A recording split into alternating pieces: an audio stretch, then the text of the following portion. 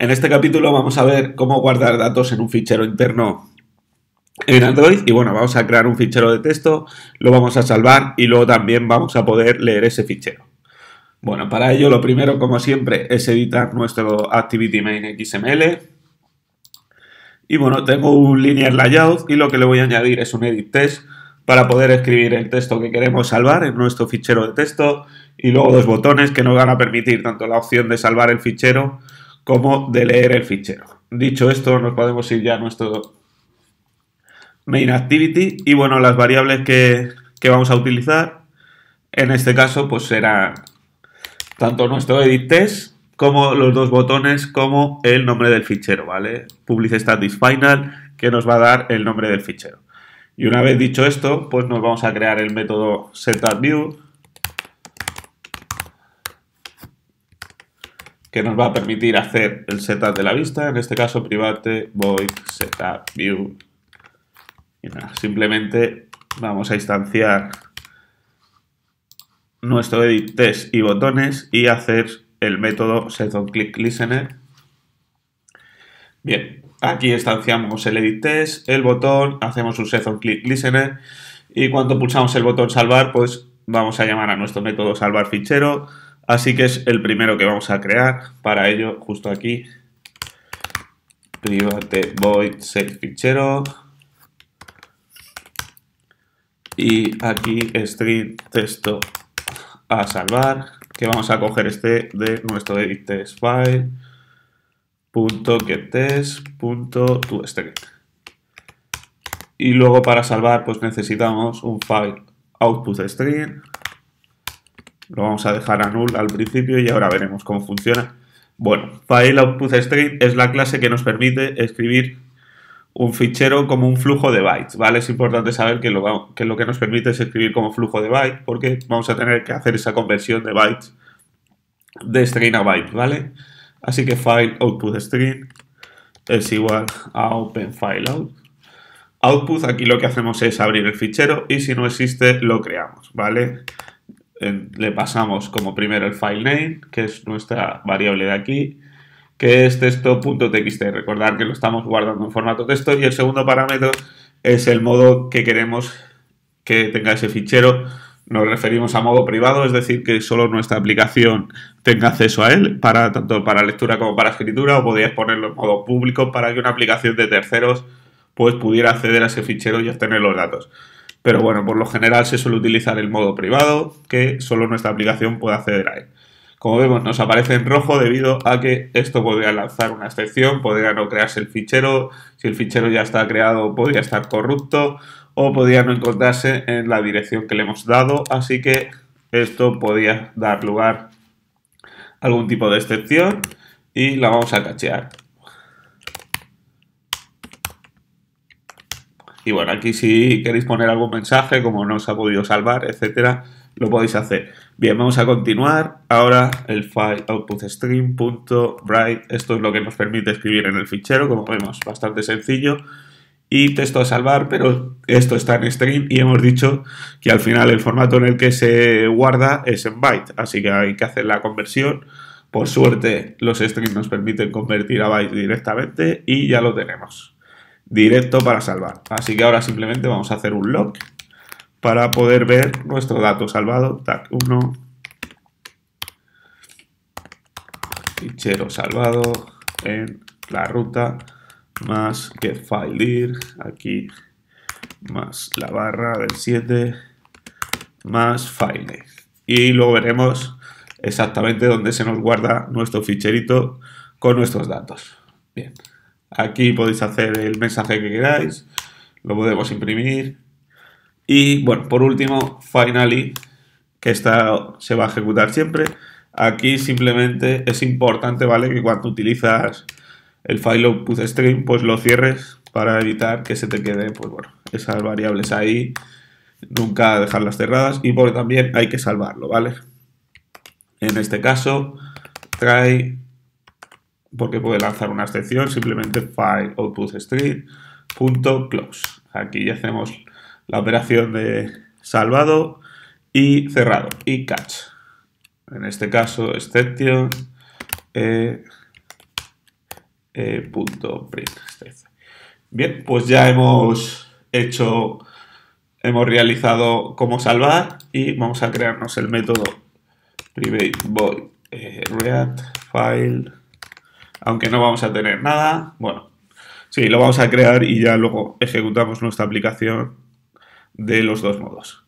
Bien, igual que aquí necesitábamos un output string, file, ahora necesitamos el de input, ¿vale? Este es salida, necesitamos el de entrada, es file input string, igual lo dejamos primero a null, y también vamos a meterlo en un try, ¿vale? Porque el siguiente código pues también puede lanzar excepción y bueno, file input string es la clase que nos permite leer un fichero como flujo de bytes, ¿vale? Es al contrario que la otra, la otra era de escritura, pues esto, igual que aquí lo habríamos lo abríamos como output, es decir, de escritura, aquí lo abrimos como input de lectura y aquí hay que indicarle el file name. No hay que indicarle el modo privado porque eso ya es cuando se crea y a continuación pues bueno, necesitamos un input string reader, que es el puente de flujos entre bytes y caracteres. Así que ahora debemos pasar. Input string reader.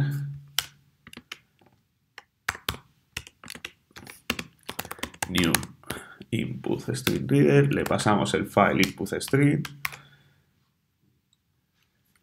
vamos a poner el catch,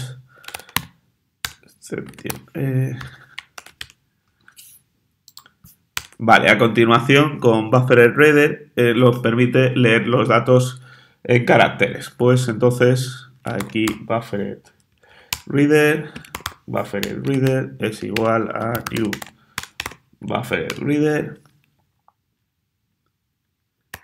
input string reader. Una vez que tenemos esto, nos vamos a crear tanto un string para leer línea, porque lo que hacemos, lo que nos permite el buffer reader con su método readline es leer de línea en línea. Es decir, imagínate que tienes 20 líneas en tu documento de texto, pues solo leerías una, con lo cual vas a tener que hacer un, bucle while para poder leer esas 20 líneas. Así que nos vamos a crear un string línea de texto que va a guardar solo una línea de texto y un string builder, ¿vale? Que nos permite ir guardando todas esas líneas de texto acumulativas. En este caso, string builder es igual a new string builder. Una vez tenemos ya la clase línea de texto, el objeto línea de texto y string builder, ya podemos empezar a hacer nuestro while e ir leyendo línea a línea.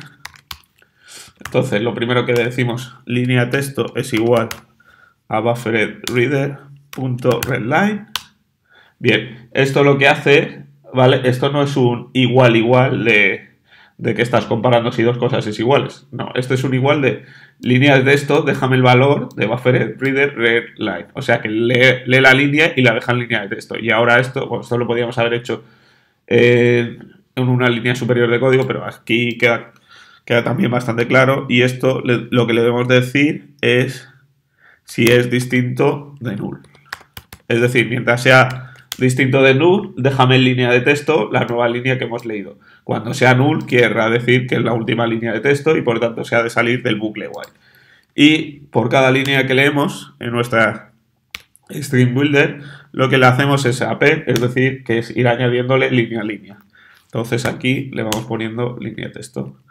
Y también por cada línea le metemos un barra n, es decir, un salto de línea para que nos quede igual cuando lo vayamos a mostrar en pantalla, que es el carácter especial es barra n y esto nos indica un salto de línea. Bien, ahora ya lo que podemos hacer es mostrarlo, podríamos tener un, un test view, pero bueno, yo lo voy a mostrar en el, en el file, en el edit test file y aquí simplemente nuestro string builder. Y ya está. Vale, así que ya lo podemos utilizar perfectamente. Y bueno, olvidar que es importante el finally, ¿vale? Para hacer el cerrar. Así que aquí vamos a hacer igual que hemos hecho arriba. Simplemente el file input string sea distinto de null. Pues si es distinto de null, un try y file input string punto close. Siempre hay que cerrar y vamos a hacer el catch fuera, ya está. Ya, como vemos, hemos hecho nuestro programa de una manera bastante sencillita y lo vamos a ejecutar. Bueno, te recuerdo que si te está gustando que te suscribas al canal y nos vemos en más capítulos. Bien, vamos a esperar a que acabe el proceso de nuestro grado de trabajar y hacemos una prueba de nuestra aplicación que nos permite tanto guardar un fichero como leer ese fichero y también vamos a ver a través de el Device File Explorer que tenéis aquí, si queréis lo podéis ir abriendo y aquí vamos a ir poder ver dónde se nos está guardando nuestro fichero de texto y también verlo dentro de la carpeta. Bien, ya lo tenemos. Voy a guardar eh, bueno, el autotexto, mi primer fichero. Le damos a Save. Y vale, aquí vamos a poner el log cat porque cuando hemos hecho aquí debug tag 1, vale, Aquí es importante, aquí es donde vemos dónde nos ha dejado el fichero, ¿vale? Data, así que buscamos la carpeta data,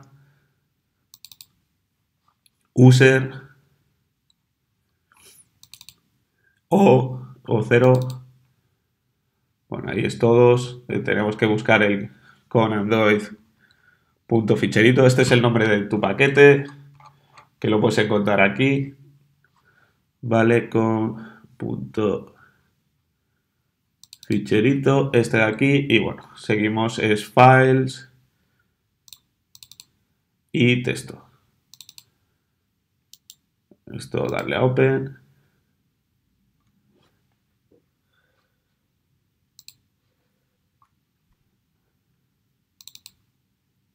Y aquí tenemos que nos ha guardado pues mi primer fichero, ¿vale? Y si buscas esto dentro de tu ordenador, pues también lo vas a encontrar. Y bueno, por último, lo que nos queda pues sería la operación de lectura dentro de nuestra aplicación de que hemos leído ese fichero. Bueno, para ello vamos a borrarlo y lo que nos debe aparecer cuando demos al botón lectura, pues es los datos y vemos que nos aparece, ¿vale? Mi primer fichero y además nos mete el salto de línea. Eso pues bueno, deberíamos chequear si era la última línea y meterlo o no. Bien, como hemos visto, guardar datos en un fichero es bastante sencillo, bastante útil cuando quieres dejar pues, algún tipo de, información importante que te pueda ser interesante pues, guardarlo en un fichero. Bien, para acabar, bueno, te recuerdo que tengo algunos cursos en Udemy, como este de curso de Run te dejo un cupón abajo de este vídeo y si te gusta, pues te puedes inscribir y aprender esta nueva forma de hacer bases de datos en Android.